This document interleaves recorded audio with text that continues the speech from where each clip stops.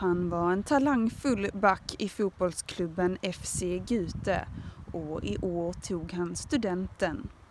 Men under fredagskvällens firande i Visby föll den 19-åriga Alex Bakius av studentflaket vid en rondell och blev överkörd av ekipaget som flera studenter stod på. Alex dog senare av sina skador på sjukhuset. Nu sörjer hans vänner och familj som har valt att visa den glada bilden på Alex från hans studentfirande. Hans pappa Daniel Bacchius uppmanar i ett sms till Expressen att hylla hans son för den fantastiska kille han var.